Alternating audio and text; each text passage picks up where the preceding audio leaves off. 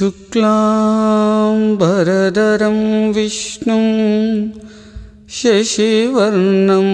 चतुर्भुजं प्रसन्नवदनं